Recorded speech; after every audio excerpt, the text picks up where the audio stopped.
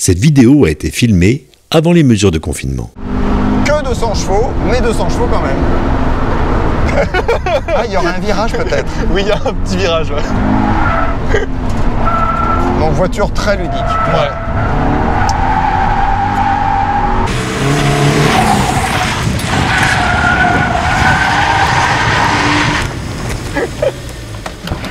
Ouh là là là là là là, je sens que ça va être mouvementé aujourd'hui. On vous propose l'essai de cette Subaru BRZ avec Yann. Salut à tous. Bonjour à tous et bienvenue sur Asso West, c'est parti alors Yann, nouvelle venue dans la flotte Pégase, cette Subaru BRZ. Alors évidemment, elle ne t'est pas complètement inconnue puisque tu possèdes une Toyota GT86 qu'on a filmée il n'y a pas si longtemps. Alors dis-nous pourquoi cette voiture et surtout dis-nous d'où elle vient car j'ai l'impression qu'elle ne vient pas de n'importe où. Absolument Pierre, absolument. Alors Subaru BRZ tout simplement parce que la GT86 ayant déjà intégré la flotte Ouais. et que j'aime bien voir les voitures par deux et, et que l'histoire de la BRZ et de la GT86 Elles sont quand même liées, euh, je trouvais finalement génial euh, de proposer ces deux voitures en une, mais deux voitures quand même. Ça permet à, ça permet à tout le monde d'essayer ben, et la GT86 et la BRZ. Elles sont différentes, elles sont identiques, enfin, chacun se fait son petit, sa petite analyse. Et puis ce qui m'allait bien aussi, euh, logique que j'ai déjà gardé pour les BMW M4, la GT86 est en boîte automatique et celle-ci est en boîte, en boîte mécanique. Donc on est, euh, on est dans une logique qui me va bien de, la de- complémentarité. ouais, voilà, de découvrir toujours euh, une autre voiture, même si finalement elles sont quand même sur le papier sœurs jumelles. Alors oui, c'est une voiture que, que peut-être certains, euh, que peut-être certains ont déjà vu finalement euh, à la télé, puisque c'est la voiture qui faisait les, qui faisait les chronos à la fin de l'émission Top Gear. Mhm. Voilà, donc c'est pour ça qu'on a un équipement un, un peu spécifique, on est sorti un peu de siège cuir et, et banquette arrière avec, euh, on, le, un baquet. euh, on le verra tout à l'heure, avec un baquet, un volant euh, un peu spécifique. On va l'essayer? Ah ouais, on y va, elle est sportive.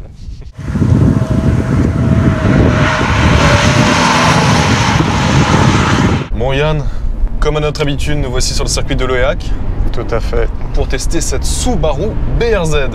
Donc tu as vu hein, qu'elle est dans une livrée un peu particulière, elle a Oui. été coursifiée.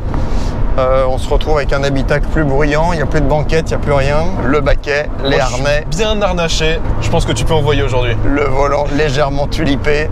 Légèrement.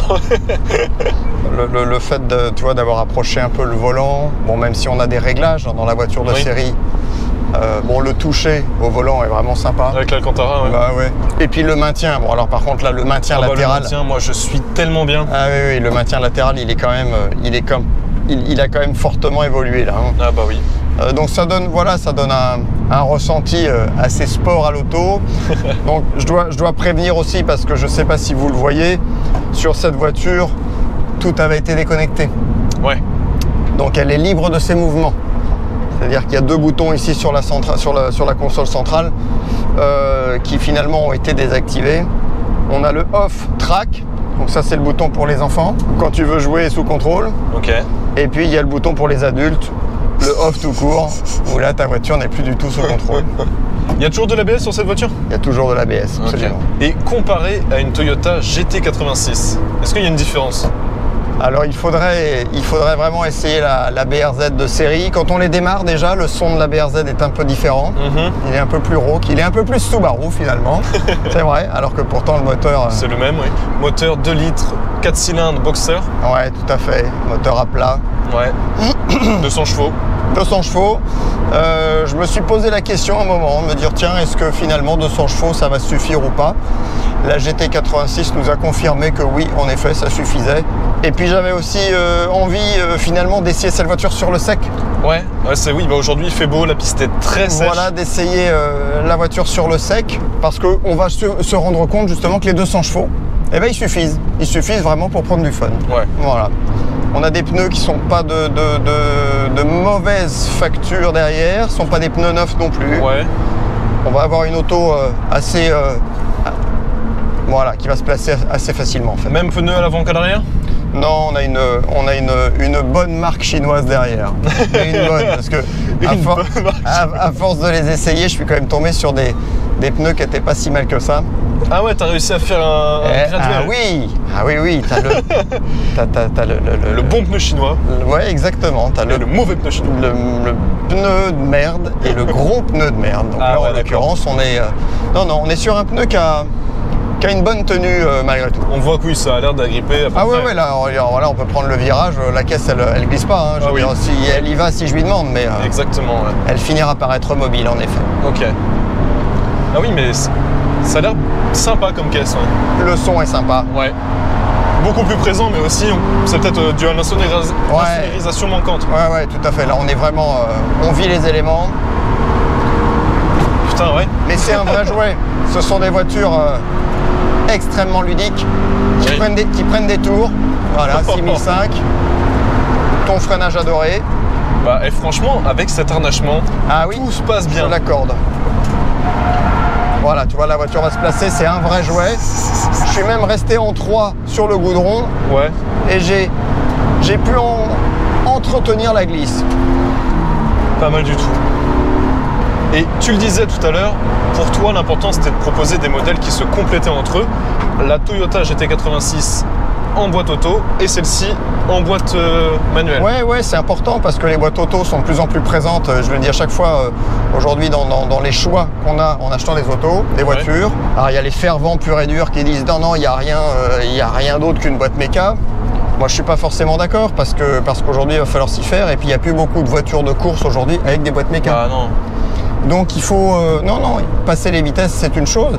Après, exploiter une boîte auto, c'en est une autre. Et c'est vachement intéressant à puissance équivalente à poids équivalent quasiment, parce que j'ai pas les j'ai pas les poids. Et puis bon, celle-là est un peu allégée, mais Ouais. elles, elles sont elles sont jumelles, je pense. Se rendre compte que ouais, Il y a une différence de comportement au ouais, final. ouais, ouais. Enfin, en tout cas, ça peut amener des choses dans le Ouais. pilotage. Ça permet une fois de plus d'avoir euh, Un panel d'être euh, encore plus fourni. ouais, d'être encore plus polyvalent dans le pilotage des autos. Et Ah, comment regarde. justement t'es... Vas-y. Comment t'es... Ah mais c'est difficile de me concentrer aussi à cause de toi là. comment est-ce que tu es rentré en contact avec euh, l'équipe Top Gear? Tu n'es pas passé par eux? Non, je suis Non. pas passé par eux. La voiture en fait est sortie de, est sortie du système chez eux. D'accord. revenu, euh, revenu dans, dans- dans le réseau et, et ensuite, euh, Tu t'es dit tiens, voilà, cette voiture n'était pas forcément euh, à la vente pour le particulier, hein, c'était vraiment une vente à professionnel, ouais. Puisque euh, bon, ça, ça devient compliqué de passer le contrôle technique. là. Oui, j'imagine, oui. Voilà. Et il se trouve que moi, le contrôle technique, bon, tu n'as pas vraiment besoin. non. non, pas là. Bon, et si on se faisait un petit tour de glisse? Moi j'ai envie de te dire vas-y. sur le sec Mais ouais, mais sur le sec, ça fait longtemps que j'ai pas glissé Ah bah, bah ouais. Clio. Alors. Ah ouais. Bon, elle est, elle est vraiment sportive. Ouais, elle, est, vra- elle sportive, est vraiment sympa. hein.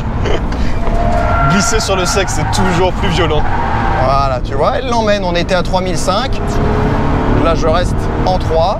Hop, Ouais. fin de virage à 5000. 5000, ouais. Elle se place. Et on est Et quand puis même là, à on 100 va- km/h. hein. Voilà, on va prendre un peu plus de tours, placer l'auto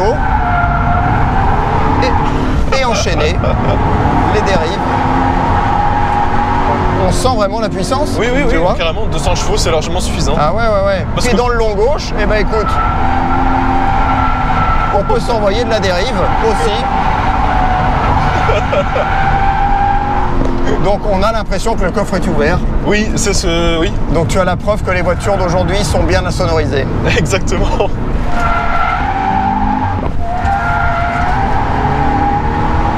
C'est un vrai jouet. Mais elle tient en plus. Ah ouais, ouais, ouais, c'est fun, hein Voilà, on est à 120, 130. Et il y a les chevaux. Oui. Donc 200 chevaux.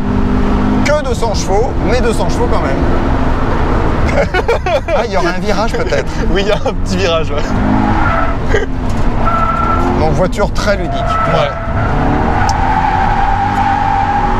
J'aime bien cette odeur de gomme qu'on sent dans la Alors voilà, en plus, on a accès direct avec ce qui se passe derrière. Tu sais que tu peux dire adieu à tes pneus chinois là? Ouais, Ouais. oui, je te l'accorde là. Il... Tu sens déjà qu'ils ont fatigué là? On vient de perdre un morceau là. Et Non, tu non. vois, si je ne lui demande pas, eh ben, elle ne glisse pas. Non, non, non, non. Donc on a quand même un, un comportement cohérent. Et on prend de la vitesse aussi. Hein. Eh ouais, sur le sec, ça change tout. Ah ouais, carrément. Sur le sec, ça change tout. D'habitude, on évolue plutôt en conditions euh, que tu proposes, euh, conditions Ouais. de stage, conditions Ouais, que tu proposes ouais, à tes clients. Alors tu comprends aussi pourquoi on ne peut pas proposer de stage sur le sec. Bah, beaucoup plus de vitesse. Le- la vitesse, la prise de risque, Ouais. les consommables obligatoirement, le bruit, le Oui, crissement de pneus. Oui, je pense que le voisinage ne doit pas Ah, apprécier. une horreur. Moi, en tout cas, j'apprécie. C'est top. Carrément. Donc au final, non, pas tellement de différence avec cette GT 86. Non, non, non, non. Et puis je te dis, il faudrait vraiment les essayer euh, Dans des configurations... euh, dans la config de, De série. ouais. Ouais, c'est ça. Bon, euh, alors la boîte, la boîte méca sur ces petites autos est quand même vachement plus sympa que la boîte auto. Ouais. Ouais, ouais, très clairement. La boîte de mémoire, la boîte méca, tu disais qu'elle était un petit peu lente sur Ouais, le elle est un 86. peu lente. C'est les anciennes générations de boîtes de vitesse. C'est des voitures pas très très chères quand même à la base. Donc il n'y Ouais, a pas non vrai. plus une grosse technologie. Ce qui était d'ailleurs la philosophie de l'auto, je crois. hein, C'était de Oui, oui, pouvoir la faire, euh, la faire aux petits oignons. Donc euh, Oui, par la suite, mettre des compresseurs et tout.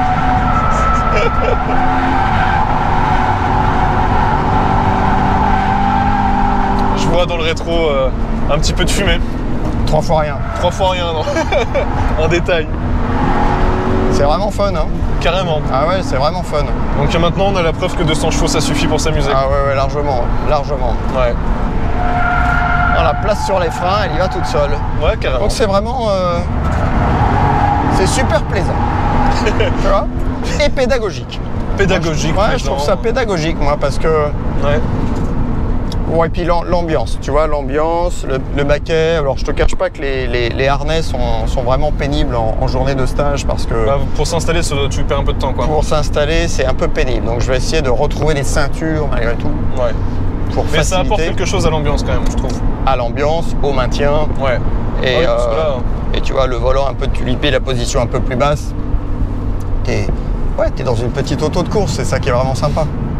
Ouais, parce que mine de rien, moi qui ai l'oreille interne un peu sensible, Ça va là? Ah oui, non, j'ai rarement euh, été aussi bien euh, en me faisant trimballer autant. Ouais, parce que quand on est maintenu dans la voiture, c'est vachement plus rassurant. Ouais. Ah ouais.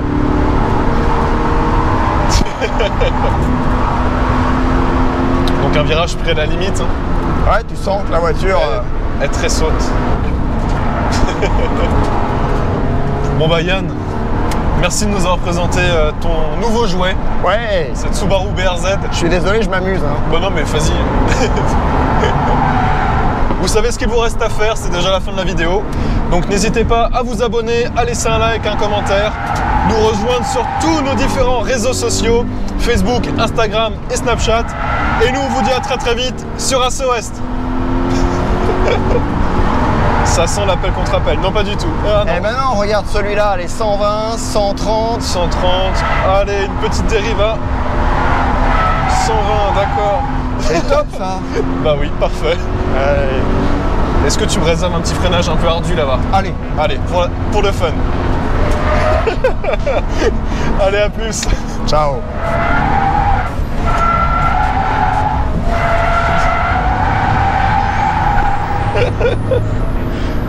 Yann Le Jossac, tu es un enfant. I walk alone in this fight. I do this for my people, tryna make us all unite. And if you want war, I got utility and nights. Scared of nobody, my only fear is Christ. With him, I can turn all dirt into rice. With him, I can turn all dark into light. My city is infected like a bad dog bite.